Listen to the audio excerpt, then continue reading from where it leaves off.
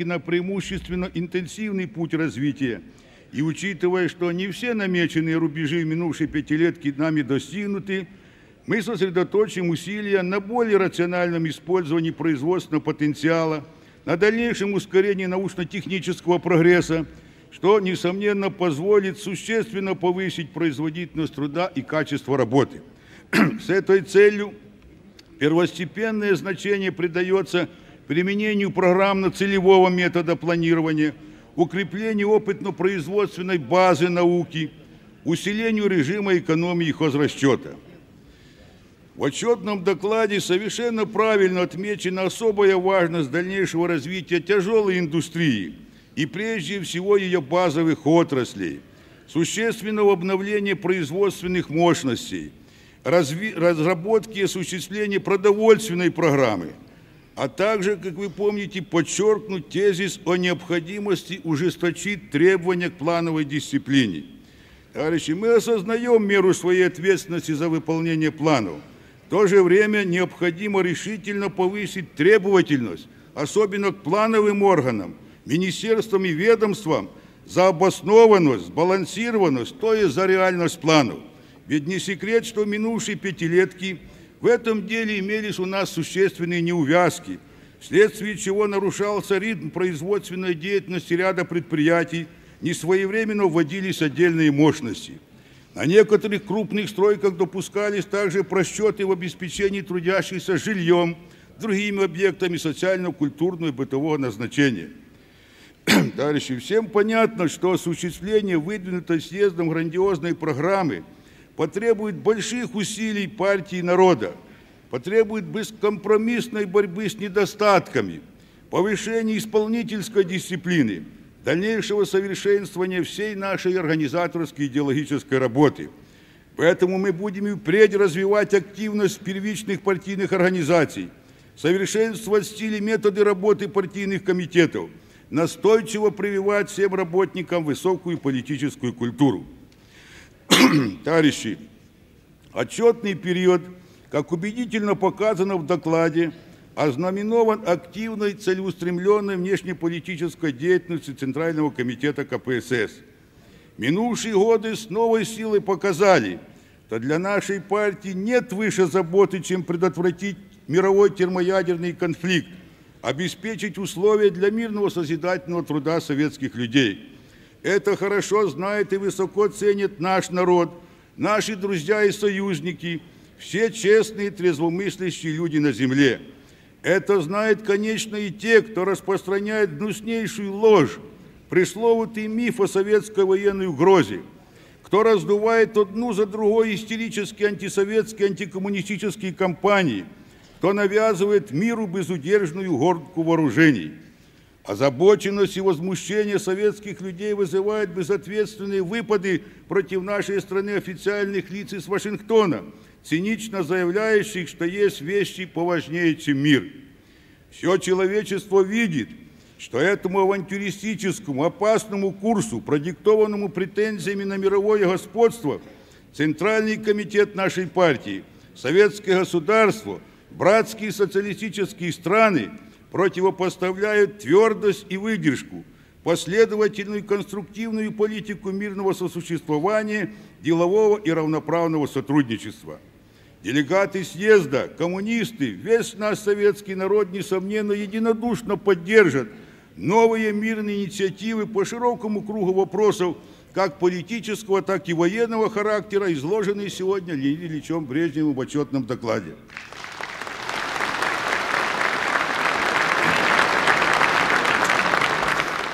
Товарищи, перед лицом активизации наиболее реакционных милитаристских сил – Серьезной угрозой делу мира и безопасности особенно возрастает значение единства и принципиальной интернационалистской позиции братских социалистических стран, коммунистических и рабочих партий.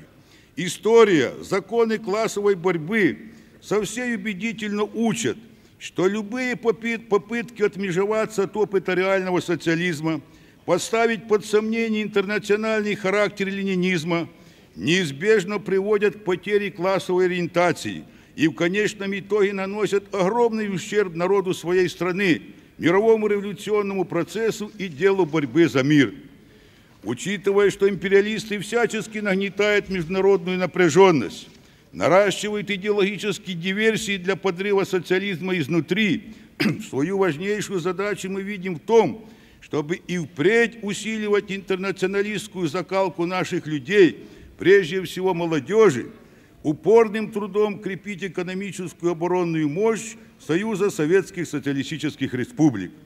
Завоевание социализма, священные рубежи советской отчизны надежно охраняет наши доблестные вооруженные силы и органы государственной безопасности, о чем столь справедливо и ярко сказал сегодня в отчетном докладе Леонид Ильич Брежнев.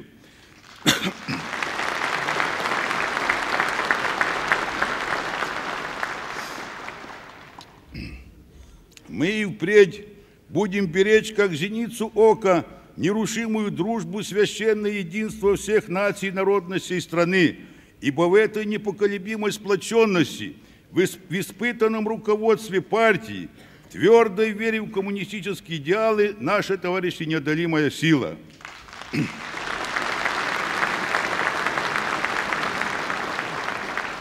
Коммунистическая партия Украины – была, есть и всегда будет боевым, надежным отрядом КПСС, верной опорой ее Ленинского Центрального комитета.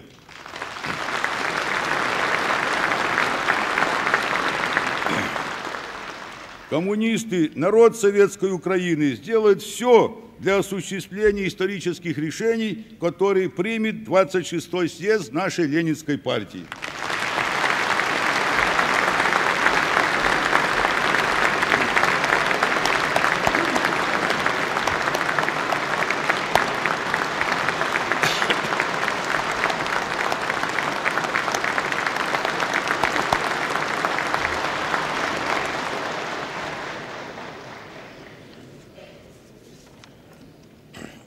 Товарищи делегаты, для приветствия 26-го съезда Коммунистической партии Советского Союза во дворец съездов прибыла делегация воинов Советской армии и военного морского флота –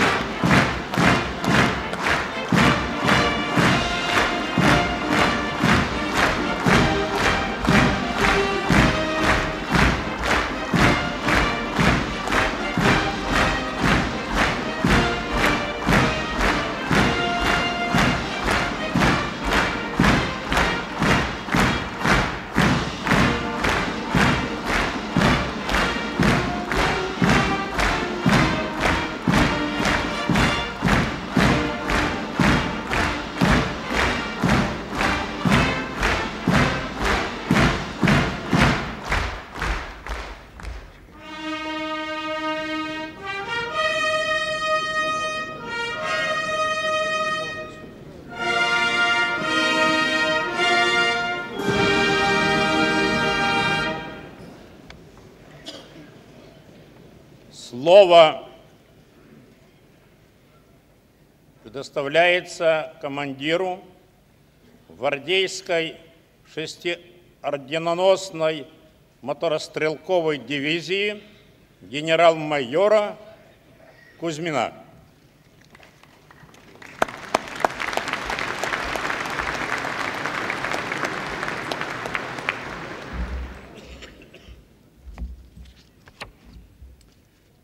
Дорогие товарищи, позвольте от имени воинов вооруженных сил передать вам, делегатам и гостям 26-го съезда Коммунистической партии Советского Союза наш боевой привет!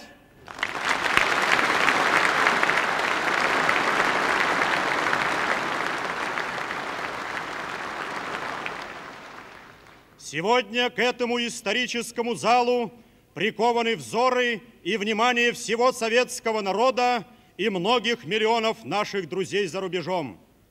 Воины вооруженных сил, где бы в эти знаменательные дни они ни находились, на полевых учениях или в океанских походах, в полетах или пограничных нарядах, всюду живут мыслями о съезде родной партии. Они горячо, всем сердцем одобряют ее внутреннюю и внешнюю политику.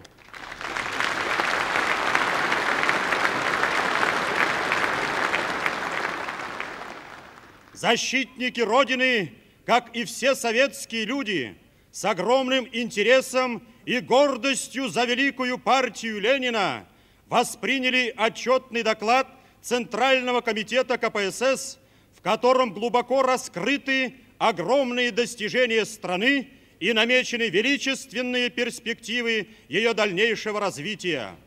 Здесь, на съезде, выражаются самые сокровенные мысли и чаяния советских людей, которые хорошо знают, что не было и нет на земле общественного строя более справедливого, более человечного, чем строй социализма.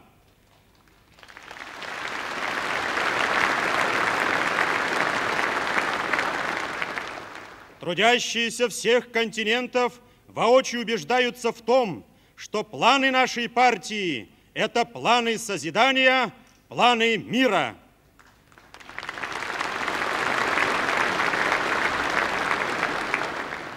Все успехи советского народа связаны с неустанной деятельностью коммунистической партии.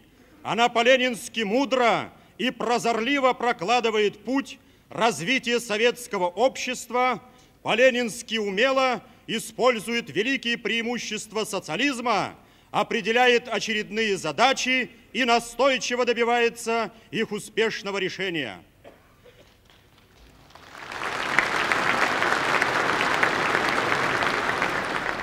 С этой высокой трибуны мы выражаем коммунистической партии, ее Центральному комитету, Политбюро ЦК КПСС во главе с товарищем Леонидом Ильичем Брежневым нашу сыновнюю благодарность и признательность за все, что они сделали и делают для блага народа, для укрепления экономического и оборонного могущества нашей Родины.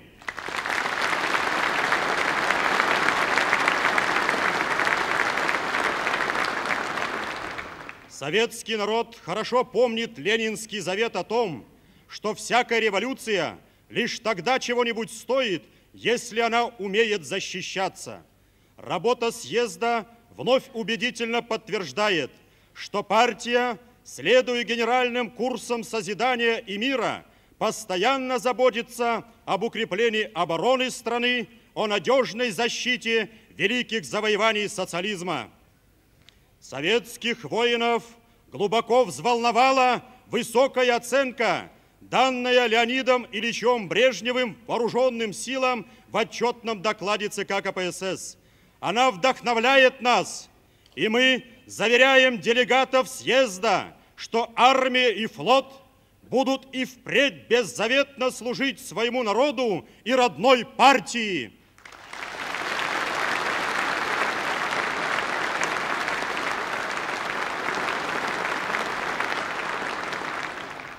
Безграничной верностью идеям партии Ленина, героизмом и мужеством бойцов, командиров и политработников советские вооруженные силы снискали искреннюю любовь своего народа и признательность всех прогрессивных людей на земле. Воины 80-х годов законной гордостью служат под боевыми знаменами, овеянными славой легендарных побед. И мы докладываем вам, дорогие товарищи, что боевые традиции армии и флота живут и приумножаются, что нынешнее поколение защитников Родины своим повседневным трудом демонстрирует глубокую преданность родной ленинской партии и постоянную готовность к защите социалистического Отечества.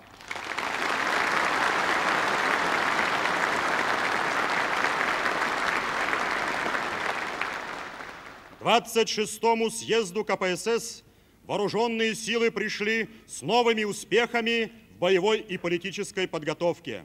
Социалистические обязательства в частях и на кораблях выполнены. Как всегда, в авангарде борьбы за достижение новых рубежей в совершенствовании боевого мастерства коммунисты и комсомольцы. Армейские, флотские, партийные организации ведут за собой весь личный состав, мобилизуют его на дальнейшее повышение боевой готовности, воспитывают воинов в духе идейной убежденности, высокой политической бдительности, патриотизма и интернационализма. Советские вооруженные силы по праву называют школой политического, боевого и нравственного воспитания, школой трудолюбия, выдержки и дисциплины. Мы гордимся, что вчерашние солдаты и матросы, прошедшие эту школу, ныне успешно трудятся на важнейших стройках страны, в Тюмени и на КАМАЗе, Атоммаше и Нечерноземье, на БАМе, у заводских станков и атомных реакторов над выполнением заданий новой пятилетки.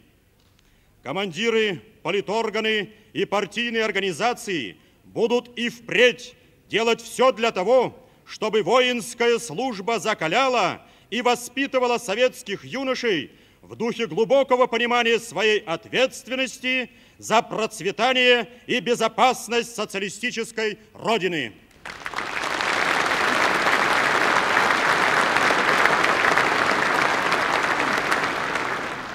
Воины армии и флота сознают всю сложность современной международной обстановки. Силы угнетения, милитаризма и агрессии, боясь дальнейшего упрочения позиций социализма и мира, форсируют гонку вооружений, усиливают подрывные акции против социалистических стран. В своем злобном рвении они не гнушаются никакими средствами, нередко обрецают оружием.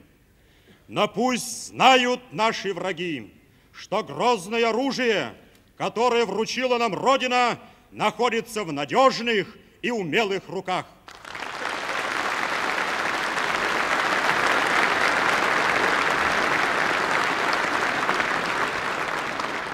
Ракетчики и мотострелки, танкисты и артиллеристы, авиаторы и моряки мастерски владеют первоклассной техникой – настойчиво учатся действовать в самой сложной боевой обстановке и готовы дать сокрушительный отпор любому агрессору.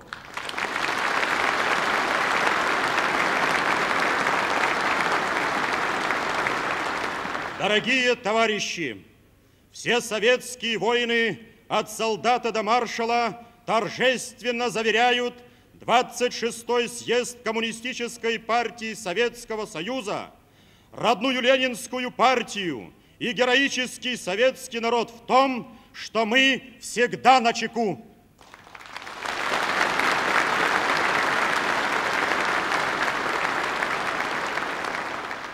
Плечом к плечу с братьями по классу, воинами стран Варшавского договора, мы впредь будем с честью выполнять свой патриотический и интернациональный долг и защитим от любых посягательств исторические завоевания социализма и мира.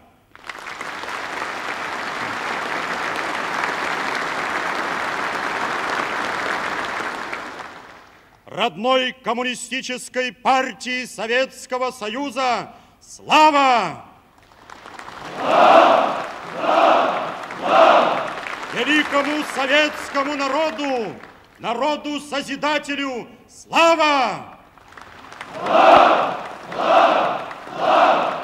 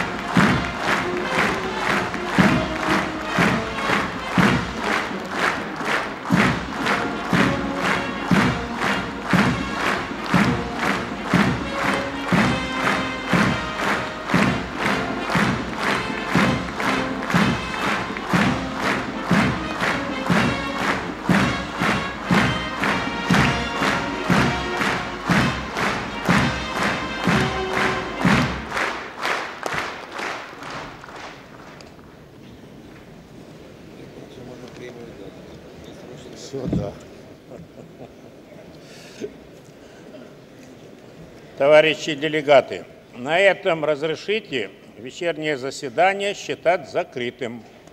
Следующее заседание съезда состоится завтра в 10 часов утра.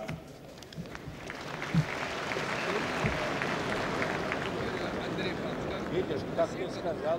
О, все вывел. Вывел. вывел.